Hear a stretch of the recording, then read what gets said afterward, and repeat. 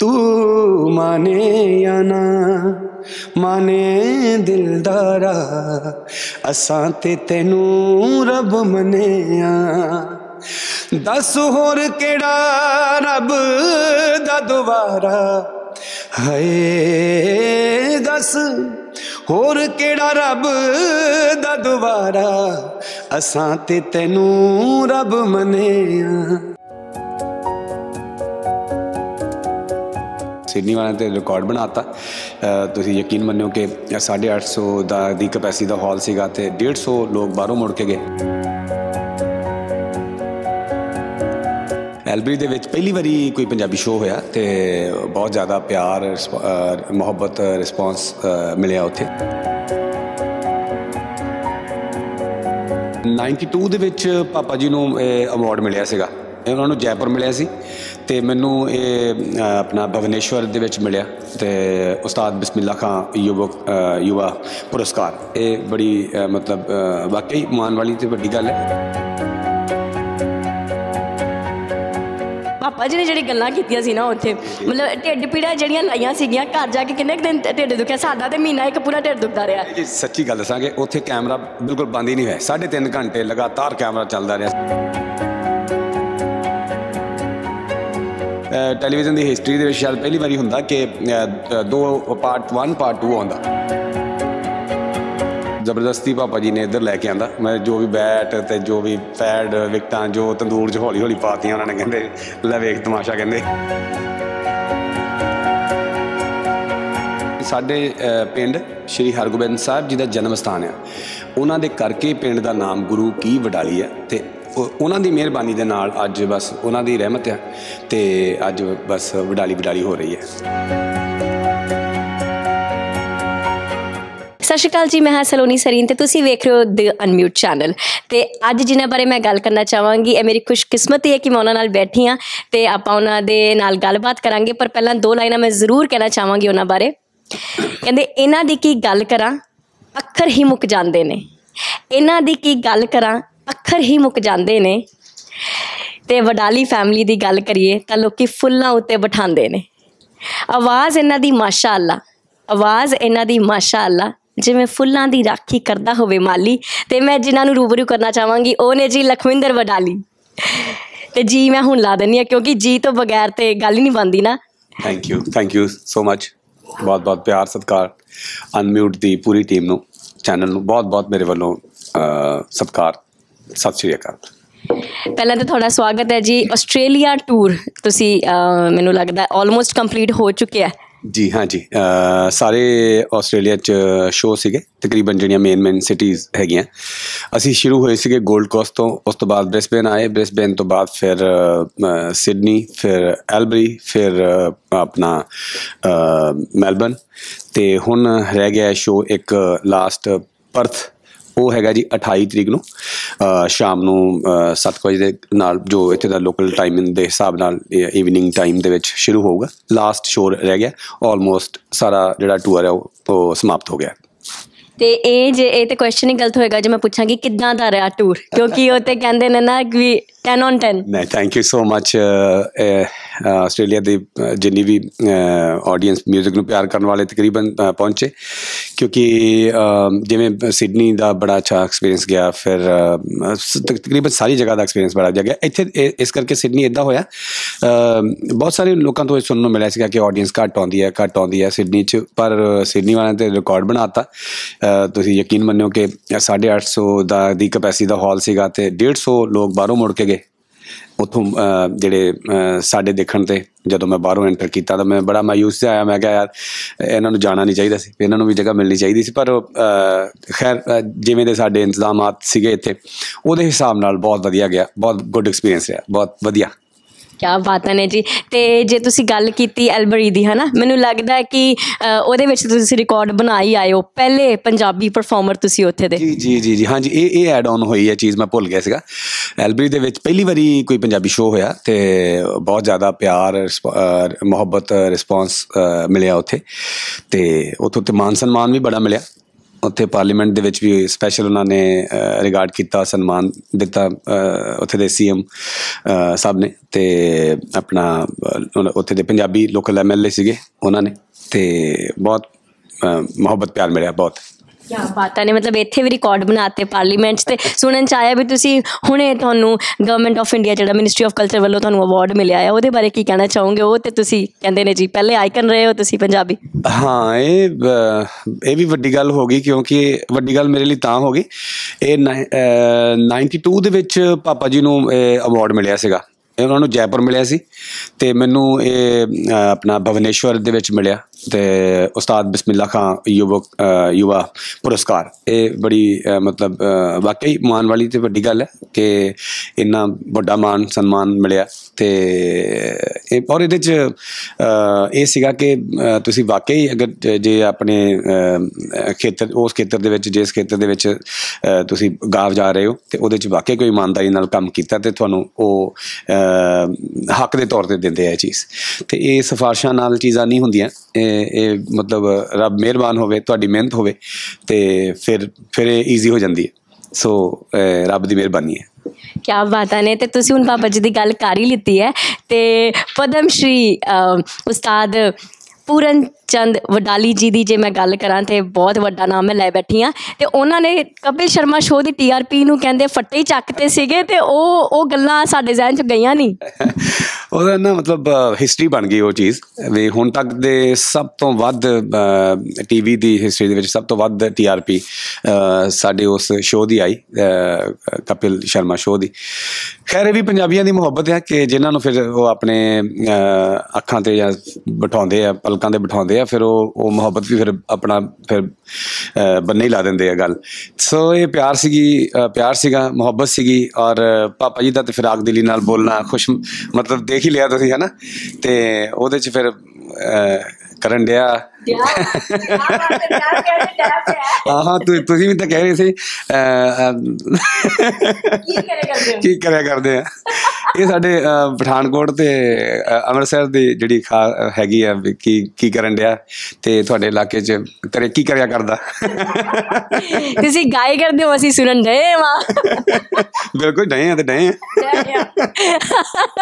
ਨਹੀਂ ਪਰ ਮੇਰੀ ਗੱਲ ਸੁਣੋ ਉਹ ਕਹਿੰਦੇ ਨੇ ਕਿ ਉਹ ਜਿਹੜੀਆਂ ਗੱਲਾਂ ਤੁਸੀਂ ਜਿਹੜੀ ਪਾਪਾ ਜੀ ਨੇ ਜਿਹੜੀ ਗੱਲਾਂ ਕੀਤੀਆਂ ਸੀ ਨਾ ਉੱਥੇ ਮਤਲਬ ਢਿੱਡ ਪੀੜਾ ਜਿਹੜੀਆਂ ਲਾਈਆਂ ਸੀਗੀਆਂ ਘਰ ਜਾ ਕੇ ਕਿੰਨੇ ਦਿਨ ਢਿੱਡ ਦੁਖਿਆ? ਸਾਡਾ ਤੇ ਮਹੀਨਾ ਇੱਕ ਪੂਰਾ ਢਿੱਡ ਦੁਖਦਾ ਰਿਹਾ। ਜੀ ਸੱਚੀ ਗੱਲ ਦੱਸਾਂਗੇ ਉੱਥੇ ਕੈਮਰਾ ਬਿਲਕੁਲ ਬੰਦ ਹੀ ਨਹੀਂ ਹੋਇਆ। ਸਾਢੇ ਤਿੰਨ ਘੰਟੇ ਲਗਾਤਾਰ ਕੈਮਰਾ ਚੱਲਦਾ ਰਿਹਾ ਸੀ। ਉਹਦੇ ਚੋਂ ਬਹੁਤ ਕੁਝ ਹਾਲੇ ਐਡਿਟ ਕੀਤਾ ਗਿਆ ਕਿਉਂਕਿ ਅਗਲੇ ਦਿਨ ਸਲਮਾਨ ਖਾਨ ਹੋਰਾਂ ਦੀ ਉਹਨਾਂ ਨੇ ਉਹਨਾਂ ਨੂੰ ਪ੍ਰਮੋਸ਼ਨ ਵਾਸਤੇ ਬਜਰੰਗੀ ਭਾਈਜਾਨ ਮੂਵੀ ਦੇ ਵਾਸਤੇ ਉਹਨਾਂ ਨੂੰ ਉਹ ਐਪੀਸੋਡ ਕਰਨਾ ਪੈਣਾ ਸੀ। ਉਹਨਾਂ ਦੀ ਮਜਬੂਰੀ ਸੀ। ਨਹੀਂ ਤੇ ਮੇਰੇ ਖਿਆਲ ਟੈਲੀਵਿਜ਼ਨ ਦੀ ਹਿਸਟਰੀ ਦੇ ਵਿੱਚ ਸ਼ਾਇਦ ਪਹਿਲੀ ਵਾਰੀ ਹੁੰਦਾ ਕਿ ਦੋ ਪਾਰਟ 1 ਪਾਰਟ 2 ਆਉਂਦਾ।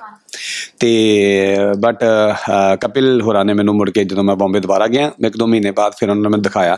ਕਹਿੰਦੇ ਭਾਜੀ ਆਹ ਦੇਖੋ ਜਰਾ ਇਹਦੇ ਚ ਉਹ ਚੀਜ਼ਾਂ ਨਹੀਂ ਹੈਗੀਆਂ ਜਿਹੜੀਆਂ ਜਿਹੜੀਆਂ ਤੁਸੀਂ ਟੀਵੀ ਤੇ ਦੇਖੀਆਂ। ਨਹੀਂ ਤੇ ਕਪਿਲ ਸ਼ਰਮਾ ਸ਼ੋਅ ਘੱਟ ਪਾਪਾ ਜੀ ਪਾਪਾ ਜੀ ਸ਼ੋਅ ਜ਼ਿਆਦਾ ਲੱਗਣਾ ਸੀ। ਪਾਪਾ ਜੀ ਦੇ ਸਾਡਾ ਕਰੀਅਰ ਚ ਮਤਲਬ ਉਹਨਾਂ ਨੇ ਜਾਣਾ ਸੀਗਾ ਵੀ ਅਸੀਂ ਐਜ਼ ਅ ਕਮੇਡੀਅਨ ਅਸੀਂ ਤੇ ਸੋਚਿਆ ਵੀ ਇਹਦੇ ਮਤਲਬ ਹਨਾ ਇਹ ਕਿੱਥੋਂ ਸਿੰਗਿੰਗ ਚ ਕਾਮੇਡੀ ਚ ਵੜ ਗਏ ਨੇ ਤੇ ਨਹੀਂ ਇਹ ਇਹ- ਹੈ ਕਿ ਦੇਖੋ ਇਹਦੇ ਚ ਕੋਈ ਸ਼ੱਕ ਨਹੀਂ ਕਿ ਉਹ ਬਹੁਤ ਮਜਈਆ ਨੇ। ਤੇ ਅਸਲ ਚ ਕਪਿਲ ਨੇ ਵੀ ਆਪਣੇ ਪਿਆਰ ਦਾ ਸਬੂਤ ਦਿੱਤਾ ਪੂਰਾ। ਉਹਨਾਂ ਨੇ ਇਹ ਨਹੀਂ ਕਿ ਉਹਨਾਂ ਨੂੰ ਕੋਈ ਗੱਲ ਨਹੀਂ ਅੱਗੋਂ ਆਈ ਸੀ। ਇਹ ਵੀ ਮੈਂ ਥੋੜਾ ਜਿਹਾ ਕਲੀਅਰ ਕਰਦਾ ਵੀ ਬਹੁਤ ਸਾਰੇ ਲੋਕ ਇਹ ਗੱਲ ਕਹਿੰਦੇ ਆ ਕਿ ਪਾਪਾ ਜੀ ਨੇ ਕਪਿਲ ਹੋਰਾਂ ਨੂੰ ਬੋਲਣ ਨਹੀਂ ਦਿੱਤਾ, ਇਹ ਨਹੀਂ ਕਰਨ ਦਿੱਤਾ। ਮੈਂ ਕਿਹਾ ਇਦਾਂ ਨਹੀਂ ਸੀ। ਪਰ ਕਪਿਲ ਹੋਰਾਂ ਨਾਲ ਜਦੋਂ ਮੇਰੀ ਗੱਲ ਹੋਈ, ਜਦੋਂ ਮੈਂ ਸੈਕਿੰਡ ਟਾਈਮ ਗਿਆ ਨਾ, ਉਹਨਾਂ ਨੇ ਜਦੋਂ ਮੈਨੂੰ ਦੱਸਿਆ, ਕਹਿੰਦਾ ਮੈਂ ਰਿਗਾਰਡ ਕੀਤਾ ਪੂਰਾ ਵੀ ਮੈਂ ਪਾਪਾ ਜੀ ਨੂੰ ਸੁਣਨਾ ਹੈ, ਪਾਪਾ ਜੀ ਦੀਆਂ ਗੱਲਾਂ ਸੁਣਨੀਆਂ ਤੇ ਮੈਂ ਨਹੀਂ ਬੋਲਣਾ। ਉਹ ਪਿਆਰ ਦਿੱਤਾ ਉਹਨਾਂ ਨੇ ਆਪਣੇ ਪਿਆਰ ਦਾ ਸਬੂਤ ਦਿੱਤਾ। ਸੋ ਇਹ ਉਹਦੇ ਲਈ ਸਾਡੇ ਲਈ ਵੀ ਬੜਾ ਵੱਡੀ ਗੱਲ ਹੈ ਤੇ ਕਪਿਲ ਹੋਰਾਂ ਲਈ ਤਾਂ ਖੈਰ ਵੱਡੀ ਗੱਲ ਹੈ ਹੀ ਹੈ ਵੀ ਉਹਨਾਂ ਨੇ ਇੰਨੀ ਇੰਨੀ ਮੁਹੱਬਤ ਦਿਖਾਈ ਉਹਦੇ 'ਚ। ਜੀ ਜੀ ਬਿਲਕੁਲ ਇੱਕ ਰਿਗਾਰਡਸ ਹੁੰਦੇ ਨੇ ਵੱਡਿਆਂ ਦੇ ਹਨਾ? ਤੇ ਜੇ ਪਿਆਰ ਦੀ ਗੱਲ ਕਰੀ ਤਾਂ ਤੁਹਾਨੂੰ ਆਪਣੀ ਫੈਮਿਲੀ ਨਾਲ ਪਿਆਰ ਪਰ ਕਹਿੰਦੇ ਤੁਹਾਨੂੰ ਕ੍ਰਿਕਟ ਨਾਲ ਵੀ ਬੜਾ ਪਿਆਰ ਹੈ। ਪਿਆਰ ਸੀ। ਹੁਣ ਨਹੀਂ ਹੈ ਉਹ ਪਹਿਲਾਂ ਸੀਗਾ ਕਿਉਂਕਿ ਉਦੋਂ ਮੈਂ ਮੈਨੂੰ ਗਾਉਣ ਦਾ ਸ਼ੌਕ ਤੇ ਸ਼ੌਕ ਨਹੀਂ ਸੀ। ਉਦਾਂ ਮੈਂ ਗਾਉਂਦਾ ਸੀਗਾ। ਕਿਉਂ- ਕਿਉਂਕਿ ਬਾਕੀ ਫੈਮਿਲੀ 'ਚ ਕੋਈ ਹੋਰ ਗਾਉ- ਕੋਈ ਵੀ ਨਹੀਂ, ਨਾ ਕਿਸੇ ਨੂੰ ਗਾਉਣ ਦਾ ਸ਼ੌਕ ਸੀ, ਨਾ ਕਿਸੇ ਨੂੰ ਗਾਉਣ ਦਾ ਪਤਾ ਸੀਗਾ। ਤੇ ਕਹਿ ਲੋ ਕਿ ਮੈਨੂੰ ਜ਼ਬਰਦਸਤੀ ਪਾਪਾ ਜੀ ਨੇ ਇੱਧਰ ਲੈ ਕੇ ਆਂਦਾ। ਮੈਂ ਜੋ ਵੀ ਬੈਟ ਤੇ ਜੋ ਵੀ ਪੈਡ ਵਿਕਟਾਂ, ਜੋ ਤੰਦੂਰ 'ਚ ਹੌਲੀ ਹੌਲੀ ਪਾਤੀਆਂ ਉਹਨਾਂ ਨੇ ਕਹਿੰਦੇ, ਲੈ ਵੇਖ ਤਮਾਸ਼ਾ ਕਹਿੰਦੇ।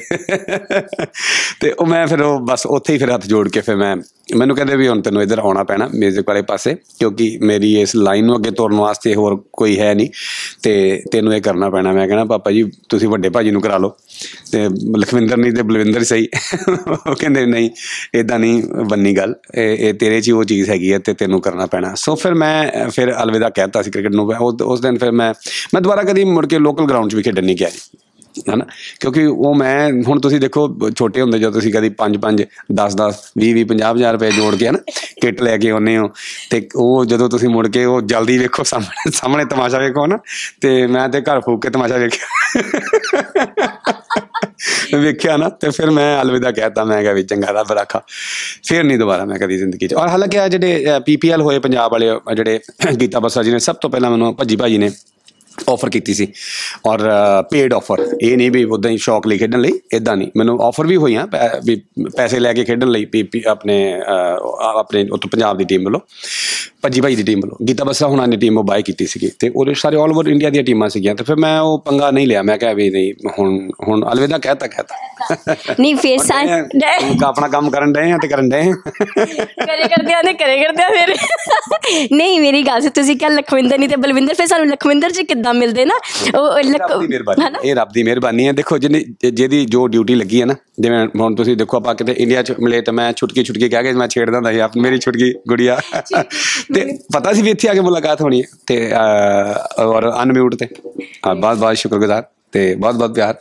ਨਹੀਂ ਤੇ ਇਹ ਇਹ ਤੁਹਾਡਾ ਬੜਪਨ ਹੈ। ਇਹ ਤੁਸੀਂ ਰਿਗਾਰਡਸ ਕਰ ਰਹੇ ਹੋ ਮੇਰੇ ਵੀ। ਮੈਨੂੰ ਅੱਜ ਵੀ ਯਾਦ ਹੈ ਤੁਸੀਂ ਸਟੇਜ ਦੇ ਉੱਤੇ ਸ਼ੋਅ ਲਾ ਰਹੇ ਸੀਗੇ ਤੇ ਮੈਂ ਸਾਹਮਣੇ ਜਾ ਰਹੀ ਸੀਗੀ। ਤੁਸੀਂ ਬਾਈ ਨੇਮ ਮੈਨੂੰ ਉੱਥੋਂ ਵੀ ਰਿਗਾਰਡਸ ਕੀਤੇ ਸੀਗੇ। ਇਹ ਮੈਂ ਅੱਜ ਤੱਕ ਜਿੰਨੇ ਵੀ ਮੈਨੂੰ ਆਰਟਿਸਟ ਮਿਲੇ ਜਾਂ ਆਡੀਅנס ਵਿੱਚ ਮੈਂ ਸਾਰਿਆਂ ਨੂੰ ਜ਼ਰੂਰ ਕਹਿੰਦੀ ਆਈ ਹਾਂ। ਇਦਾਂ ਹੀ ਹੈ। ਅੱਛਾ ਤਾਂ- ਤੁਹਾਨੂੰ ਲੱਗੇ ਮੈਂ ਨਹੀਂ ਬੁਲਾਉਣਾ? ਨਹੀਂ। ਇਦਾਂ ਹੋ ਸਕਦਾ ਕਿ ਸਾਡੇ ਆਪਣੇ ਅਹ, ਪਿਆਰ ਵਾਲੇ ਜੀ ਤੇ ਇਹਨੇ ਸਤਿਕਾਰ ਤੇ ਇੰਨਾ ਮਤਲਬ ਇੱਜ਼ਤ ਵਾਲੇ ਹੋਵੇ ਆਪਸ 'ਚ ਤੇ ਨਾ ਉਹਨਾਂ ਨੂੰ ਬੁਲਾਈਏ ਇਦਾਂ ਨਹੀਂ ਉਹੀ ਮੈਂ ਕਹਿਣਾ ਇਹੀ ਫ਼ਰਕ ਹੁੰਦਾ ਜਦੋਂ ਆਰਟਿਸਟ ਆਰਟਿਸਟ ਵਿੱਚ ਜਿਹੜਾ ਫ਼ਰਕ ਹੁੰਦਾ ਨਾ ਉਹ ਇਹੀ ਫ਼ਰਕ ਹੁੰਦਾ ਵੀ ਇੱਕ ਚੰਗੇ ਆਰਟਿਸਟ ਤੇ ਬਹੁਤ ਚੰਗੇ ਆਰਟਿਸਟ ਦੇ ਵਿੱਚ ਤੇ ਲਖਵਿੰਦਰ ਲੱਖਾਂ ਦਿਲਾਂ ਨੂੰ ਵਿਨ ਕਰਕੇ ਇੰਦਰ ਦੇਵਤਾ ਨੂੰ ਖੁਸ਼ ਕੀਤਾ ਲਖਵਿੰਦਰ। ਮੈਨੂੰ ਵੀ ਨਹੀਂ ਸੀ ਪਤਾ। ਲਖਵਿੰਦਰ। ਅੱਛਾ ਅਗਲਾ ਕੀ ਸੀ ਕਹਿੰਦੇ ਇਹ ਤੁਹਾਡੇ ਨਾਮ ਬਾਰੇ ਕਹਿੰਦੇ ਅੱਗੇ ਦੱਸੋ ਇਹ ਤੇ ਚਲ ਹੋ ਗਈ ਗੱਲ ਅੱਗੇ ਤੇ ਵਡਾਲੀ। ਵਡਾਲੀ ਜੀ ਇਹ ਤੇ ਦੇਖੋ। ਆਪਕਾ ਨਾਮ ਨਾਮ ਲਗਾਇਆ ਸਾਹਿਬ ਨੇ। ਤੇ ਵਡ- ਵਡਾਲੀ ਜੀ ਬਸ ਹਾਂਜੀ ਸਰਨੇਮ ਇਹ ਜਿਹੜਾ ਸਰਨੇਮ ਹੈ ਨਾ ਆਪਣੇ ਆਪ ਚ ਇਹਦੇ ਬਾਰੇ ਜੇ ਮੈਂ ਕੁਝ ਕਹਾਂ ਤੇ ਉਹਦੇ ਲਈ ਵਾਕਈ ਮੈਂ ਛੁੱਟ ਗਈ ਹਾਂ ਆ, ਨਹੀਂ ਨਹੀਂ ਇਹ- ਬਿਲਕੁਲ ਠੀਕ ਹੈ। ਇਹ ਤੇ ਉਹਦੇ ਲਈ ਤਾਂ ਮੈਂ ਵੀ ਬਹੁਤ ਬਹੁਤ ਗੁਰੂ ਮਹਾਰਾਜ ਦਾ ਬੜਾ ਸ਼ੁਕਰੀਆ ਅਦਾ ਕਰਦਾ ਵੀ ਸਾਡੇ ਪਿੰਡ ਸ਼੍ਰੀ ਹਰਗੋਬਿੰਦ ਸਾਹਿਬ ਜੀ ਦਾ ਜਨਮ ਸਥਾਨ ਆ। ਉਹਨਾਂ ਦੇ ਕਰਕੇ ਪਿੰਡ ਦਾ ਨਾਮ ਗੁਰੂ ਕੀ ਵਡਾਲੀ ਹੈ ਤੇ ਉਹਨਾਂ ਦੀ ਮਿਹਰਬਾਨੀ ਦੇ ਨਾਲ ਅੱਜ ਬਸ ਉਹਨਾਂ ਦੀ ਰਹਿਮਤ ਆ ਤੇ ਅੱਜ ਬਸ ਵਡਾਲੀ ਵਡਾਲੀ ਹੋ ਰਹੀ ਹੈ ਬਿਲਕੁਲ ਜੀ ਇਕੱਲੇ ਇਕੱਲੇ ਬਾਲੀਵੁੱਡ ਚ ਨਹੀਂ ਹੋ ਰਹੀ ਬਾਲੀਵੁੱਡ ਚ ਵੀ ਹੋ ਰਹੀ ਹੈ ਕਹਿੰਦੇ ਆਮਿਰ ਖਾਨ ਪ੍ਰੋਡਕਸ਼ਨ ਦੇ ਨਾਲ ਹੈ ਤੁਸੀਂ ਪਹੁੰਚੀ ਜਾਂਦੇ ਹੈਗੇ ਹੈਂ? ਨਹੀਂ ਪਹੁੰਚੇ ਤੇ ਤੁਸੀਂ ਹੋਏ ਹੋ ਨਾ ਕਹਿੰਦੇ ਪਹੁੰਚੇ ਹੋਏ ਉਸਤਾਦ ਨੇ ਸਾਡੇ ਕਹਿੰਦੇ ਲਖਵਿੰਦਰ ਵਡਾਲੀ ਜੀ ਆਮਿਰ ਖਾਨ ਪ੍ਰੋਡਕਸ਼ਨਸ ਦੇ ਵਿੱਚ ਉਹਨਾਂ ਨੇ ਗਾਣਾ ਜਿਹੜਾ ਰੀਕ੍ਰੀਏਟ ਕੀਤਾ ਇੰਨੀਆਂ ਰੀਲਸ ਮੈਂ ਵੀ ਬਣਾਈਆਂ ਸੀਗੀਆਂ ਤੇ ਕਹਿੰਦੇ ਫੱਟੇ ਚੱਕ ਤੇ ਉਹਨੇ ਵੀ ਤੇ ਮੈਂ ਕਹਿੰਦੀ ਥੋੜਾ ਥੋੜਾ ਹੋ ਨਾ ਚਾਹੇ ਹੋ ਨਹੀਂ ਸਕਦਾ ਆਪਾਂ ਤੁਸੀਂ ਗਾਓ ਨਾ ਤੇ ਅਸੀਂ ਗਵਾਈਏ ਨਾ ਤੁਸੀਂ ਗਾਣ ਦੇ ਜੇ ਤੇ ਅਸੀਂ ਸੁਣੇ ਕਰਦੇ ਆ। ਉਹ ਉਹ ਸੀਗਾ ਤੂੰ ਮਾਨੇ ਜਾਂ ਨਾ ਮਾਨੇ ਪਾਪਾ ਜੀ ਨੇ ਪਹਿਲਾਂ ਵੀ ਗਾਇਆ ਹੈ ਸੀਗਾ ਉਹ ਰੀਕ੍ਰੀਏਟ ਹੋਇਆ ਹਾਂਜੀ। ਤੇ ਅੱਛਾ ਦੋ ਲਾਈਨਾਂ ਫਿਰ ਮੈਂ ਗਾ ਹੀ ਦੇਣਾ ਚਲਾ। ਤੂੰ ਮਾਨੇ ਜਾਂ ਨਾ ਮਾਨੇ ਦਿਲਦਾਰਾ ਹੈ ਤੂੰ ਮਾਨੇ ਮਾਨੇ ਦਿਲਦਾਰਾ, ਅਸਾਂ ਤੇ ਤੈਨੂੰ ਰੱਬ ਮੰਨਿਆ। ਦੱਸ ਹੋਰ ਕਿਹੜਾ ਰੱਬ ਦਾ ਦੁਆਰਾ? ਹਾਏ, ਦੱਸ ਹੋਰ ਕਿਹੜਾ ਰੱਬ ਦਾ ਦੁਆਰਾ? ਅਸਾਂ ਤੇ ਤੈਨੂੰ ਰੱਬ ਮੰਨਿਆ। ਤੂੰ ਮਾਨੇ ਜਾਂ ਨਾ। ਮਾਨੇ ਦਿਲਦਾਰਾ ਅਸਾਂ ਤੇ ਤੈਨੂੰ ਰੱਬ ਮੰਨੇ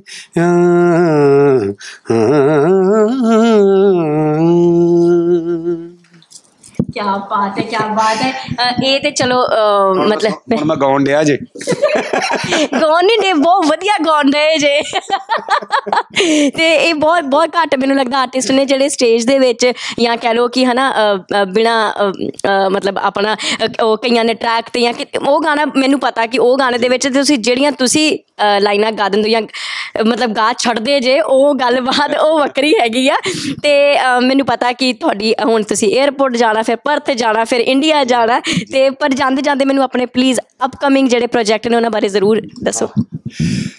ਅਪਕਮਿੰਗ ਇੱਕ ਤਾਂ ਸ- ਸਲੀ- ਸਲੀਮ ਸੁਲੇਮਾਨ ਹੋਰਾਂ ਦੇ ਨਾਲ ਹੁਣ ਜਾਂਦੇ ਹੀ ਮੈਂ ਜਿੱਦਣ ਆਇਆ ਸੀਗਾ ਉਦੋਂ ਸੋਚ ਰਹੇ ਸੀਗੇ ਸੇਮ ਡੇ ਵੀਡੀਓ ਕਰ ਦਈਏ ਪਰ ਉਹ ਕਾਲੀ ਹੋ ਜਾਂਦੀ।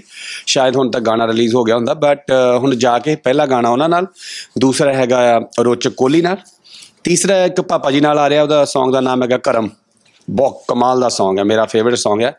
ਤੇ ਇੰਨੀ ਧੀਰਜ ਨਾਲ ਔਰ ਇੰਨੀ ਕਮਾਂਡ ਦੇ ਨਾਲ ਅਸੀਂ ਦੋ- ਮਤਲਬ ਮੈਂ ਉਹਨਾਂ ਦੇ ਨਾਲ ਗਾ- ਗਾਇਆ ਹੈ। ਮੈਨੂੰ ਪਹਿਲੀ ਵਾਰੀ ਉਸ, ਇਸ ਗਾਣੇ ਤੋਂ ਬਹੁਤ ਉਮੀਦ ਹੈ ਔਰ ਮੈਨੂੰ ਇਦਾਂ ਲੱਗਦਾ ਕਿ ਮੇਰੀ ਜ਼ਿੰਦਗੀ ਦਾ ਮੀਲ ਪੱਥਰ ਹੋਊਗਾ ਇਹ ਗਾਣਾ। ਉਹਦਾ ਨਾਮ ਹੈ ਕਰਮ। ਤੇ ਹਿੰਦੀ ਪੰਜਾਬੀ ਦਾ ਮਿਕਸਚਰ ਹੈ। ਉਹ ਸਾਰੇ ਗਾਮਾਂ ਤੋਂ ਰਿਲੀਜ਼ ਹੋਏਗਾ ਜਲਦੀ। ਤੇ ਉਸ ਤੋਂ ਬਾਅਦ ਕਾਫੀ ਨੇ, ਕਾਫੀ ਟਰੈਕ ਹੋਰ ਵੀ ਹੈਗੇ ਆ, ਜਿੱਦਾਂ ਸ਼ੰਕਰ ਮਹਾਦੇਵਨ ਜੀ ਨਾਲ ਹੁਣ ਪਲੈਨਿੰਗ ਹੋ ਰਹੀ ਹੈ। ਕਾਫੀ ਵੱਡੇ ਵੱਡੇ ਬਾਲੀਵੁੱਡ ਦੇ ਟਰੈਕ ਹੁਣ ਅੱਗੇ, ਅਗਲੇ ਸਾਲਾਂ ਦੇ ਵਿੱਚ ਤੁਹਾਨੂੰ ਸੁਣਨ ਨੂੰ ਮਿਲਣਗੇ। ਬਹੁਤ ਪਿਆਰੇ। ਔਰ ਪੰਜਾਬ ਦੇ ਕਈ ਜਿਹੜੇ 뮤직 ਡਾਇਰੈਕਟਰ ਨੇ, ਉਹਨਾਂ ਨਾਲ ਵੀ ਆ ਰਹੇ ਆ।